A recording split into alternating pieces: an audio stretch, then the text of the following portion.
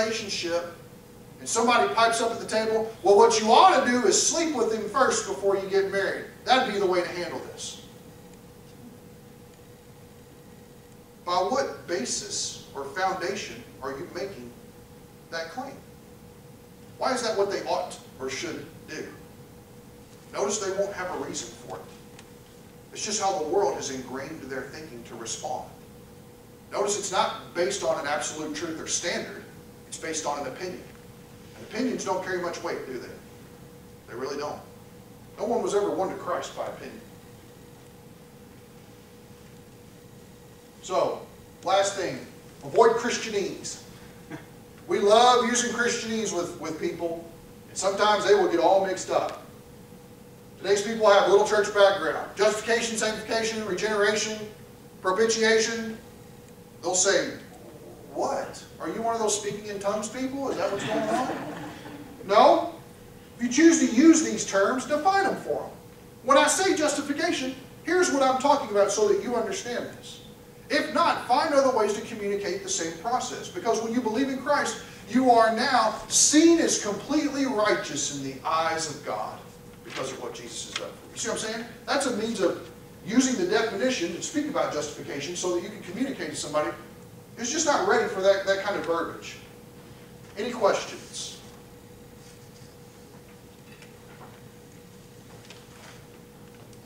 I hope these encourage you with some creative methods to go about reaching people. A lot of times the only thing that keeps people from reaching the lost is willingness. Am I willing to take the time? Am I willing to get involved? Am I willing to put my money forward? Am I willing to give of myself to this? But I guarantee you this. Here's the thing, man. I like football a whole lot.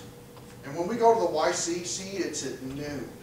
That's when all the football games are coming on. But here's a question I got to ask myself. Am I about football or am I about souls? Which one is infinitely more important? Which one is going to have a greater understanding in all of eternity? The only thing that keeps people from going to heaven is faith in Christ. I guarantee you, when they have the message spelled out as simply as the Gospel of John does repeatedly, lights start to come on, eyes start to light up. What? That's too easy. Do you want me to make it harder for you? Jesus didn't seem to want to make it harder for people. What you're teaching is cheap grace. It's not cheap grace. It cost God his son. Nothing cheap about that.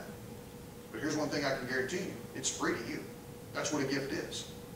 If you want to pay something back, you've made that gift a transaction. That's not right. It is a free gift to you. Any questions at all? The one, well, like, because you go into prisons and things, I'm sure you get the one about, I, I, what I've done is,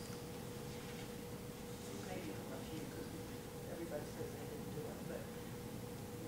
What I've done is too much. God would never accept it. Yeah, I- what I've done is, is so wrong. And that's, and that's why people are, that's why people need to hear about the grace of God. That's what grace is. It's unmerited favor, yes, but it's also someone getting the exact opposite of what they deserve. But in, in God's eyes, is one sin worse than another? The thing that seems to claim in Scripture from 1 Corinthians 6 would be that sexual sin uh, is, is, a, is a defilement of the body uh, in such a way that other sins are not. But as far as does any one merit the fact that they are going to hell more than another? No. No. All sin is sin, all sin leads to death. All sin will, all sin separates us from God.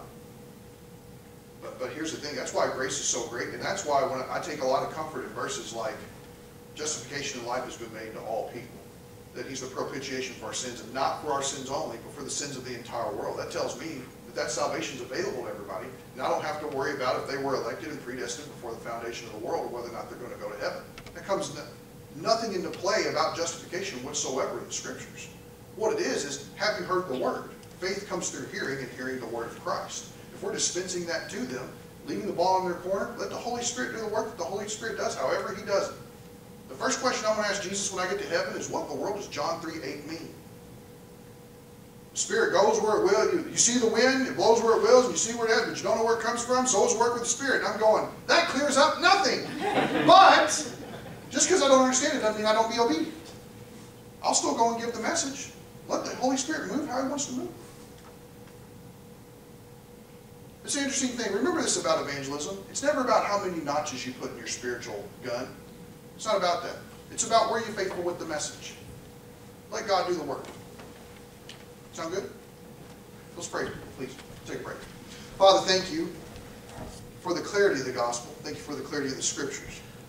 Uh, I pray, God, that we not cling to traditions or ways that we've always heard it, uh, but Father, that we would wrestle with your word and that your spirit would add those things to our understanding, that we would be changed. And Father, that we would understand that there are great opportunities uh, of massive darkness, especially here uh, in Boise, but all over, uh, to where the light of Christ needs to be displayed clearly.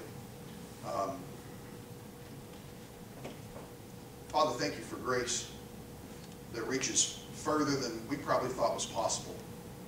Um, and the fact is, is that Jesus has offered that eternal life. It's so good. It, it, it really is good. Uh, I, I pray, Father, that here we all be uh, moved to want to be more active in sharing our faith with lost people. Pray in Christ's name, amen. Amen. Thank you, guys.